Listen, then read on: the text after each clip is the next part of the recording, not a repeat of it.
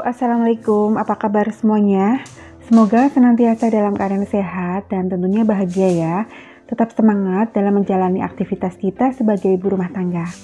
Oke, jadi di video kali ini, ini kayaknya video simple banget ya. Cuman kegiatan pagi, ini saya mau ganti taplak meja bun. Jadi saya punya beberapa taplak meja ya untuk ganti-ganti. Cuman coraknya sama aja kotak-kotak. Jadi ini saya mau ganti taplak meja yang warnanya nude ya. Nah ini baru saya pakai karena sudah punya lama sebenarnya. Nah sebelumnya taplak mejanya yang lama itu saya bersihkan dulu karena nanti bisa dipakai lagi ya. Jadi ini barang-barangnya saya taruh dulu di wadah ya supaya nanti beres-beresnya itu gampang. Nah ini saya lap-lap dulu taplak meja yang lama ya. Uh, saya bersihkan dulu terus yang terakhir dibersihkan pakai tisu basah supaya nanti tuh nggak ada uh, minyak-minyaknya kayak gitu ya. Karena ini mau saya simpan lagi jadi kalau misalkan bosen dengan warna nude saya bisa balik lagi masang taplak yang warna pink atau uh, saya juga punya yang warna putih gitu cuman coraknya itu abstrak ya nah Lumayan bun untuk ganti suasana itu bisa diakali dengan ganti taplak meja. Padahal taplak mejanya itu murah banget ya, sekitar 20 ribuan kalau nggak salah. Oke, jadi ini saya bersihkan dulu kacanya ya, kaca mejanya. Kadang-kadang saya tuh lupa kalau misalkan meja makannya itu pakai kaca, jadi kalau naruh apa-apa tuh langsung brek gitu loh. Nggak sadar, makanya kalau misalkan e, masak, kadang-kadang kan nggak saya pindah ke wadah saji ya. Pancinya langsung taruh aja di situ. Cuman biasanya saya alasin dulu pakai lap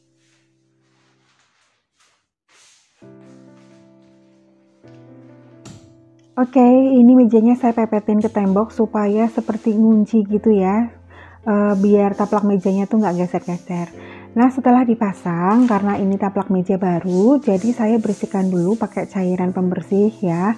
Lalu uh, saya bersihkan juga pakai tisu basah supaya lebih steril teman-teman. Terus sekarang saya mau menata ya, menata barang-barang uh, yang biasa ada di meja makan. Ini ada rak sendok garpu, terus toples toples kayak wadah kerupuk, terus toples cemilan, ada madu, terus ada isian roti gitu-gitu taruh sini aja supaya nanti gampang nyarinya.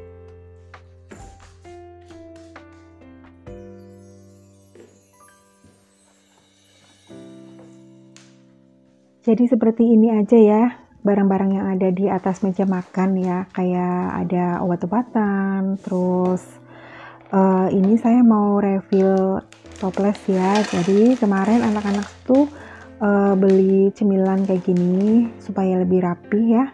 Saya pindah aja ke toples. Terus uh, begini aja bun ya. Lalu taplak meja yang lama saya simpan lagi di dalam plastik ya. Kapan-kapan kalau misalkan saya mau ganti, gampang tinggal dikeluarin aja.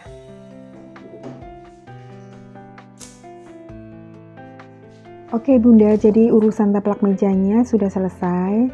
Sekarang saya mau cuci piring. Jadi ini cucian piring yang semalam ya akhir-akhir ini tuh saya lagi uh, banyak magernya ya. Kalau malam biasanya kan saya beresin dulu baru tidur, tapi sekarang tuh uh, setelah Isa biasanya tuh saya sudah ngantuk banget ya. Jadi ya sudah saya tidurnya tuh sekarang cepet gitu loh. Supaya nanti bangunnya itu lebih awal. Cuman karena ini juga nggak tahu kenapa ya. Saya juga kerainan gitu loh. Eh kerainan. Jadi kesiangan gitu loh bun. Kalau kerainan tuh bahasa Banyumas ya. Bahasa ngapaknya tuh kerainan itu kesiangan bun ya sudah. Jadi saya beres-beresnya itu agak siang belum bikin sarapan juga. Cucian piringnya juga numpuk banget. Oke nggak apa-apa. Sekarang saya cuci piring dulu ya bun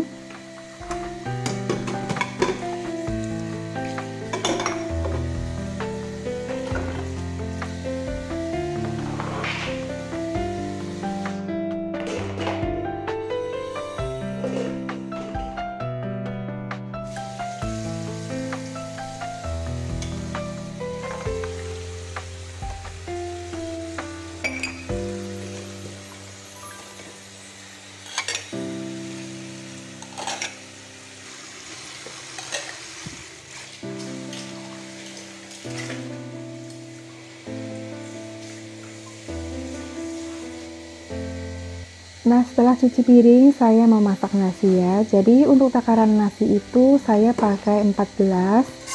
Nah, untuk 4 gelas itu kira-kira untuk satu hari lebih gitu.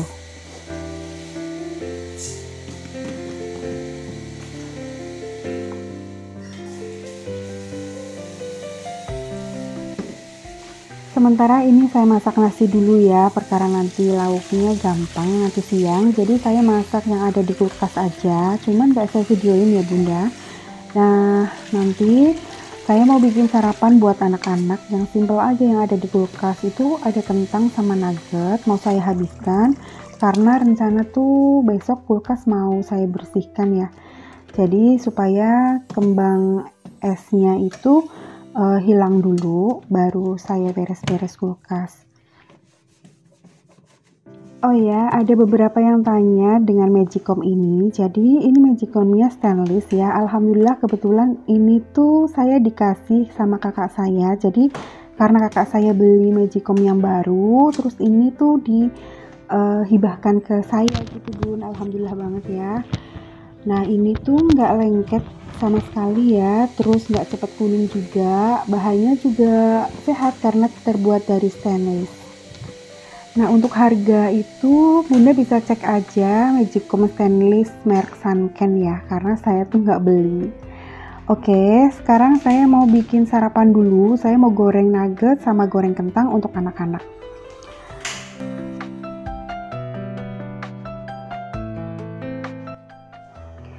Oh ya, tadi Bunda tuh masak apa nih? Sudah pada masak apa? Saya nanti rencana mau ngabisin stok di kulkas aja. Oh ya Bun, ini saya tuh belum punya wadah minyak ya, jadi masih seperti ini aja ditekuk-tekuk supaya aman nggak tumpah. Nanti insya Allah kalau ada rezeki, saya sempatkan untuk beli wadah minyaknya. Oke Bunda, jadi sekarang saya mau goreng kentang dulu, terus nanti juga goreng nugget. Jadi begini aja ya sarapan kali ini untuk anak-anak. Karena tadi pas goreng nyiprat-nyiprat minyaknya, mungkin karena e, kentangnya itu beku ya, masih ada es-esnya, jadi e, berisik gitu ya minyak, nyiprat-nyiprat. Nah sekarang saya mau masuk-masukin kayak mangkok, piring ke dalam rak.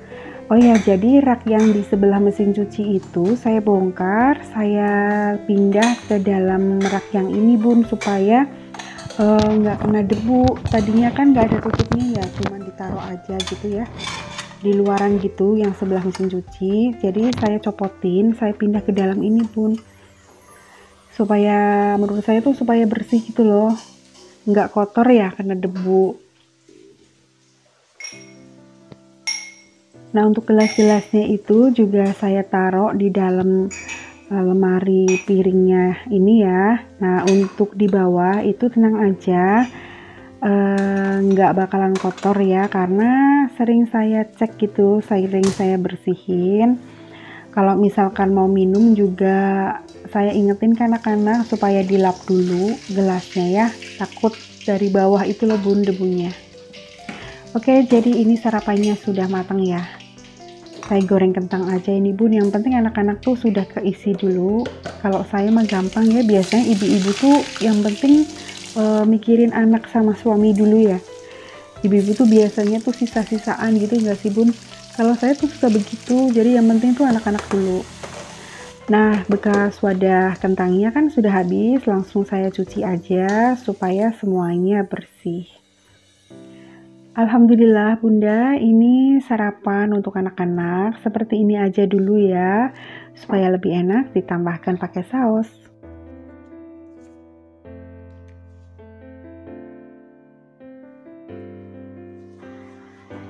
Nah, setelah goreng kentang, selanjutnya saya mau nyuci baju dulu ya, biar nanti siangnya tuh kering bisa langsung saya setrika.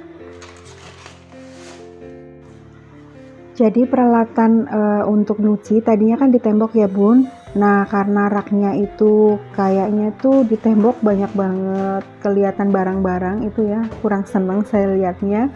jadi sementara saya taruh dulu di storage ini yang kemarin saya beli ya bun cuman belum saya beresin banget ya baru ditaruh-taruh aja nah rak yang tadinya di sebelah itu rak lemari plastik itu saya pindah ke depan untuk naruh buku-buku anak saya tapi sebelumnya sudah saya bersihkan dulu ya. Oke ini saya juga mau ngerendam lap-lap ya biar nanti dicuci sekalian kalau beres-beresnya sudah selesai. Terus lanjut saya mau mindah-mindah kayak saus kecap uh, bubuk cabe itu ditaruh di wadah. Terus nanti mau saya taruh di dalam rak lemari ini ya supaya nanti di luaran tuh nggak kelihatan botol-botol gitu loh bun supaya lebih rapih dan uh, simple gitu loh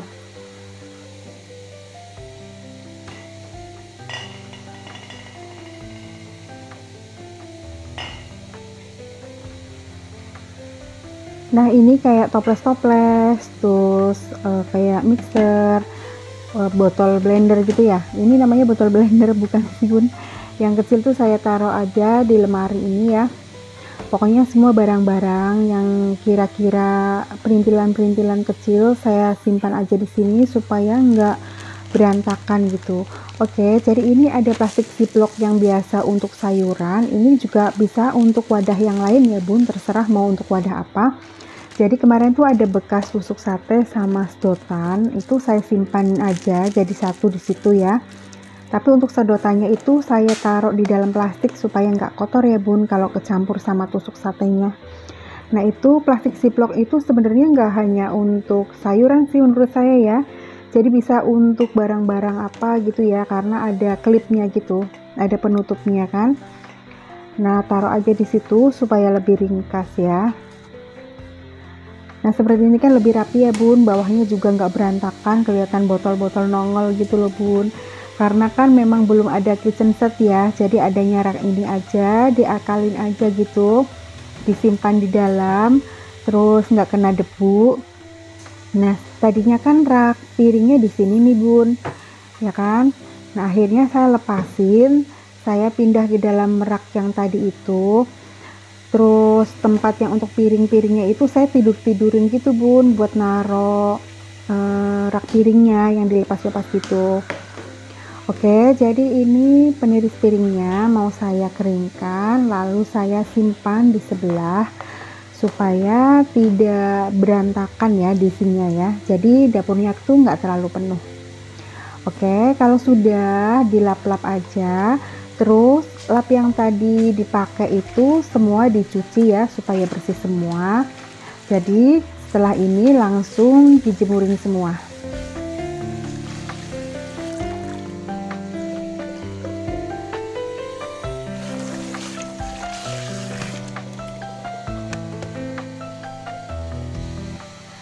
Alhamdulillah bun beres-beresnya tuh sudah selesai ya. Ya seperti ini aja. Sementara besok saya beresin lagi.